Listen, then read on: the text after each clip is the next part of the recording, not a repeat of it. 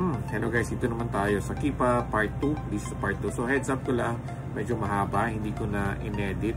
Hindi ko na i-edit talaga. Kasi baka may miss ako ng mga details na importante. Okay, kasi ito yung pinaka uh, what you see heart ng product sourcing, yung Kipa reading. Okay? So iba na yung ano, iba na yung pagre-read, uh, iba na rin yung approach, uh, iba na rin yung tinitingnan ng mga mga data sa Kipa. So hopefully mag-enjoy kayo. And gustong gusto ko mag-upload ng maraming videos. Promise kung may time lang talaga ako. Okay? So pasensyahan nyo na. Medyo dahan-dahan lang pero bibigay ko lahat ng ano. Bibigay ko lahat ng alam ko at isi-share ko sa inyo ng free. Okay? So share nyo lang, like nyo, comment anything na gusto nyo, okay, pirate, i-pirate nyo, ano, kayo na bahala. Wala na akong ano doon. Wala na akong control doon. Ang gusto ko lang is magturo at ini-enjoy ko lang naman. Okay? So maraming salamat guys and God bless.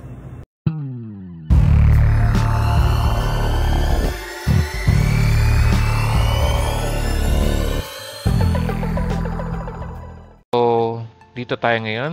Uh, tuturo ko sa inyo ang Kipa reading Dati is parang anatomy lang ata yung tinuro ko ng Kipa. Ngayon, Kipa reading talaga. Okay, let's start para marami-rami tayong marami-rami tayong madi-discuss. Okay? Uh, tingnan nyo uh, yung graph which is alam nyo naman yung uh, uh, pink is the party third party FBA the pink is the buy box okay orange pala yung FBA okay Amazon yung uh, yellow okay And then 3 months, always 3 months tayo titingin.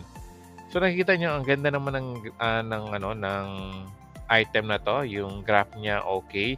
Kasi hindi, hindi naman ganun kataas, bigla ang taas. Kung napansin nyo, sa 22, nasa $3 o $4 sa taas, bigla ganyan. Tapos yung seller sa pababa, uh, less competitors, uh, competition or competitors, uh, mas maganda tingnan. Okay? So, always lang tingin sa price, ano, price history, tapos data, and then product details. Kung wala naman kayong ano, yung tawag dito, uh, easy insight, so pwede naman kayo tumingin dito para sa sellers. New FBA sellers dito, tinitingnan ko. Yan. Tapos kung current niya 80, 70 siya 90 days, medyo tama, hindi naman ganun 90 kagad, so hindi siya pwede sabihin natin false spike. Okay, so tinitingnan namin dito. And then nakikita niyo rin tracking since kailan siya nag-start 2000 at 12 pa. Which is 23 na. So, matagal na itong item na to. Okay? And then, punta kagad kayo sa offers. Dito sa offers, guys, pakiclick lang yung Prime or yung free shipping. Pwede yan. Yung FBM, disregard yun na. Okay? Uh, kung i-check nyo kasi ito, mawawala yung mga graph na gusto ko makita. So, kung pwede pakita yung historical uh, offers Okay. Ano tinitingnan natin dito? So, yung buy box, sino may hawak ng buy box? So, ang may hawak ng buy box, tingnan natin. 87, nakikita nyo, nag-change. So, yung paakit po ba? So, ito siya yung may hawak. Ito pa yung click ko. Ah, click ko. Sorry, nabulol ako. Ang sold niya, isa. Ito, 18. Okay, for past, uh, nakita natin dito, 90 days. Kung pwede natin ibalik dito ng 30 days, nakikita nyo, So, 30 days lang tinan natin kung gaano kabilis yung item ma-sell. Dito po sa range siya. Okay? 1. So, nag-stock siya nung April 10. Nas, na-sell po siya nung April 15. So, 5 days. Ito naman po is sa Tuesday, wala siya nag-stock. Wala siya nag-stock. Tapos, nag-restock siya ng 9 nung 29 and then na-sell siya kaagad nung 30. So, one day lang. So, mabilis. Ito siya, mabilis. Ito na-sell ng item na to. This one, ano, active ito. Ito siyang seller is active. Kasi oh, restock, sell, uh, sell siya, tapos restock, resell, restock. Okay? Ito rin. So maganda itong item na to. It means maganda ito tingnan itong ano, itong seller. Active siya. Okay? So isa sa mga clue nyo dito na ah ito siya pwede kong uh, pwede ko siyang i-storefront kasi active itong seller na to. Okay? One thing na pwede nyo pang makita na active yung seller is sa buy box. Makikita nyo, eto, 7 minutes ago. So, paano siya nag-change ng item, pa, uh, ng, ng prices, kung paano nyo minomonitor yung, yung item niya, nag-change siya. So, ito. Ito siya. So, dito nyo makikita, 7 days ago siya nag-change. 2 uh, ah, days ago. Just now, ito siya, just now, nag-change siya ng ano, buy box niya. Okay, makita nyo, 30 days, 90 days. Mas maganda po 30 days. Kung 90 days, medyo marami pa na, pero hindi na active yung mga ano ng mga sellers na to. Okay, mas maganda 30 days ang tayo magbe-base. Okay? Buyback statistics, huwag nyo tingnan. Ito lang po ang pinaka-importante na tingnan yung offer. Ito, para ma-analyze yung item kung pwede ba talaga i-sell, kung fast selling ba talaga yung item. Pinapakita dito fast selling item, pero ito talaga siya nagkakaroon ng mas maraming sale. Okay? Ito siya. Okay, active siya masyado. Okay? Maybe he is using or she is using a software na para auto auto ano uh, tawag dito? Auto update sa prices which is active ang seller na to. Okay next pakita ko na isang graph na naman. Eto. What do you think guys? Okay ba o hindi? 554 days pa so medyo uh, hindi pa ganun kahinog pero mas maganda. Nakita niyo tong sales rank niya? Fluctuate di ba? Nakita niyo yung drops. Okay i-discuss ko yung drops 39 drops daw okay sabi ko, uh, hindi, hindi pa ako sure kung 39 drafts pa talaga ito. Titingnan ko dito sa offers natin. Ito lang siya mabenta. Mabilis mabenta. Si printing supplies. Mapansin niyo 5 stock, February 11, na sell kagad siya nung 16. So, 5, uh, 10, uh, 6 days tapos dito, mabilis na siya ng sell. Tapos di pa siya nag-restock ngayon.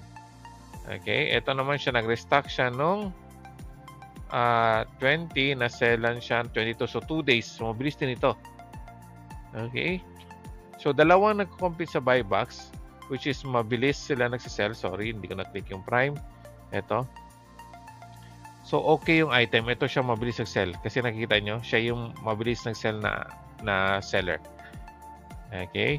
And then, buyback statistics, tingnan nyo. 3 days ago nag-change. Just now, ito sa reselling company. Which is ito siya. Kanina nandito. No? Mabilis siya sell. Siya yung mabili. Ngayon, active siya mag-change ng buybacks. No? It's a good thing. Okay?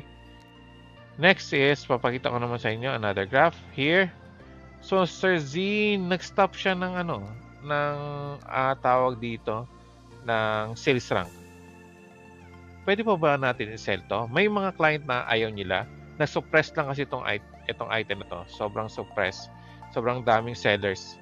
So parang ano si Amazon na, hmm, baka ano to, mga fake, mga sellers to. Hindi to uh, scammer to. Yung mga hijackers to. So sinupress ni Amazon itong item na to. Ah, itong, itong item na to. Sorry, itong item na to.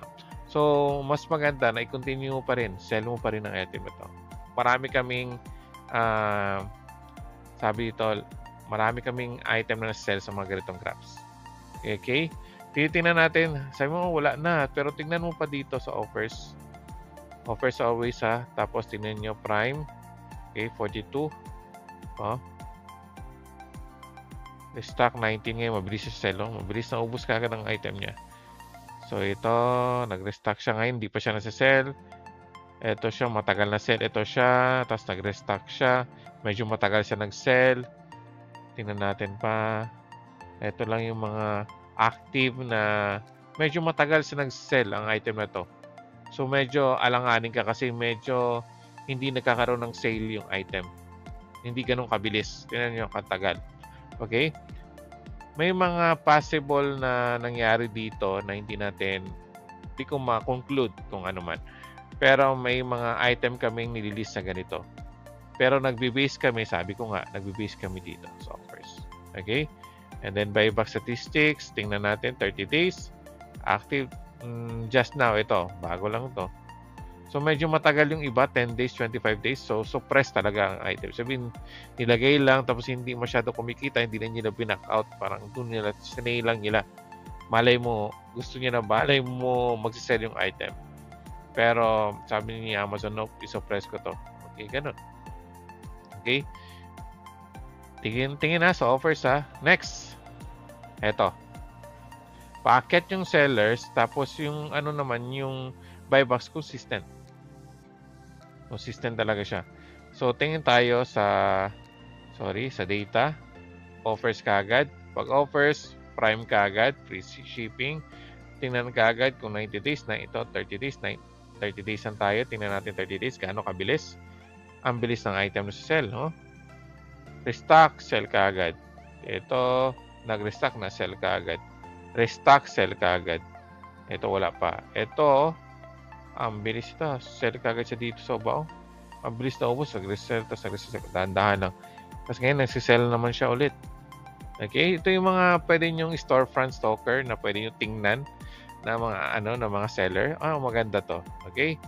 Buyback statistics, tingnan nyo kung gaano ka-active yung seller. Hmm, hindi sila active. Walang masyadong active dito. So, pwede ko tingnan ito, pero yung the rest of 26 days, medyo easy skip ko na. Okay, next example.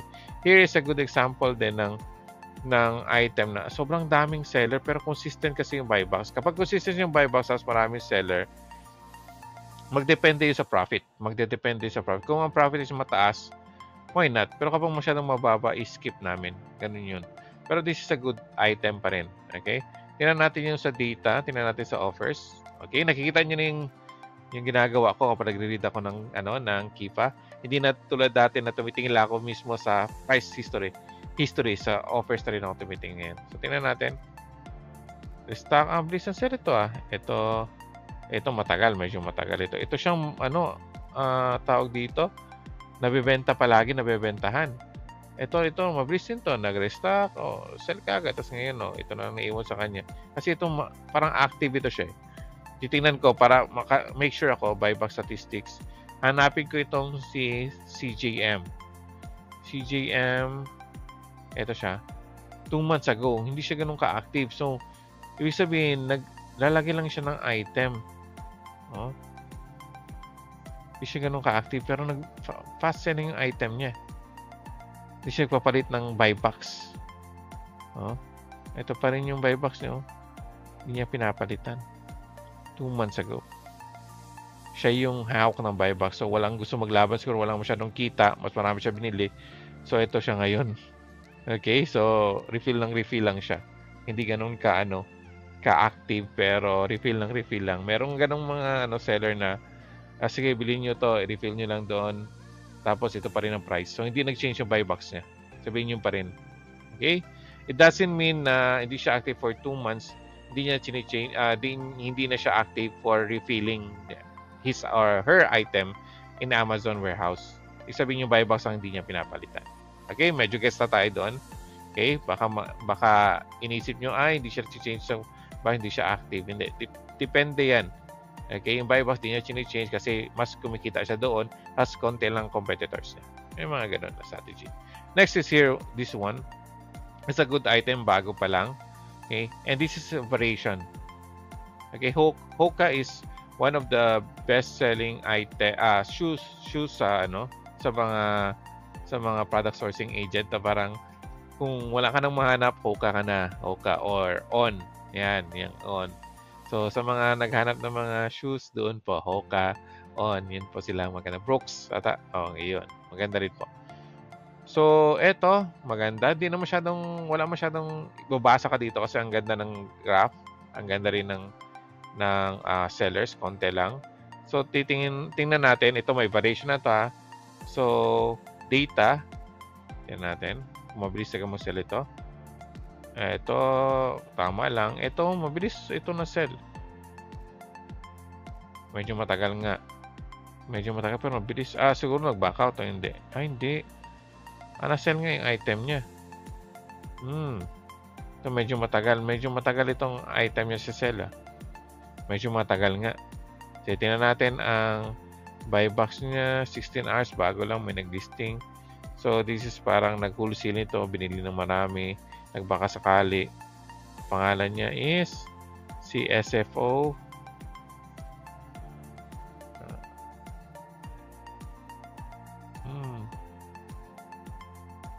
Wala siya dito. So, hindi pa masyado nakuha yung record niya. Ibig sabihin, bago pa lang ito.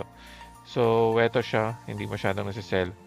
Tapos sa variation, ito na best thing na sa variation is masabi ko kasi may percentage. Okay, yung reviews 15%.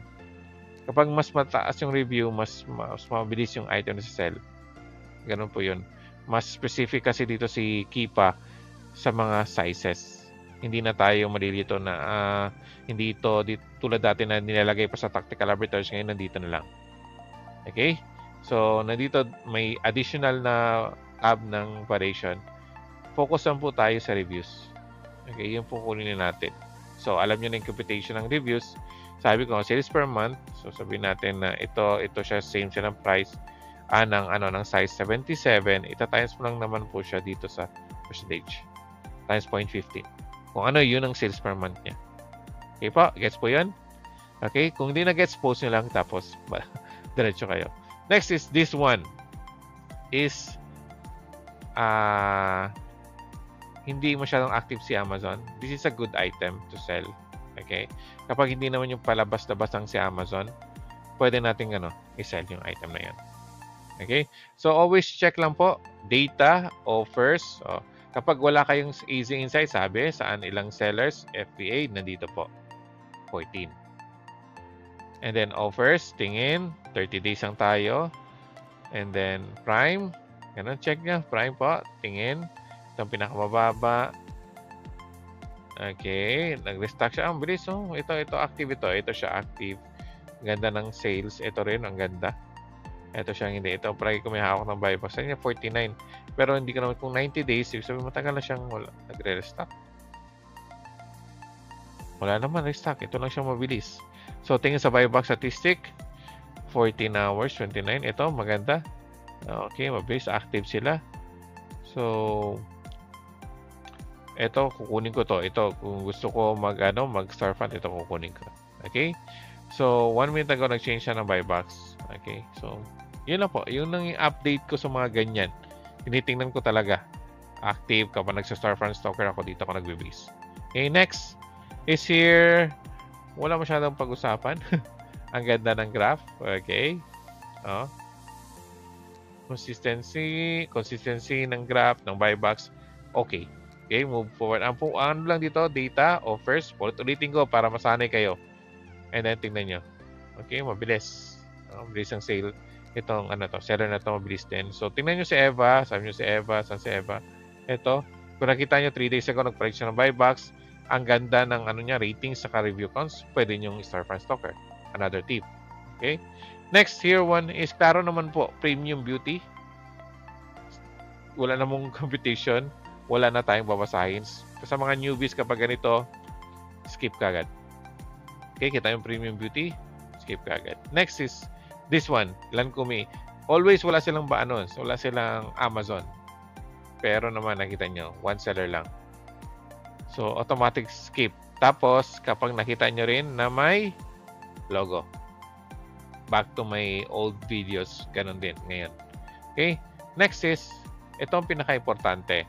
Sir Z, ito yung tanongin ng mga ano eh, ng mga tinuturuan ko. Sir Z, paano yung variation kapag may Amazon pero yung iba wala? So, here's a good example. Kapag nag-variation kayo, makikita nyo yung graph kaagad automatic.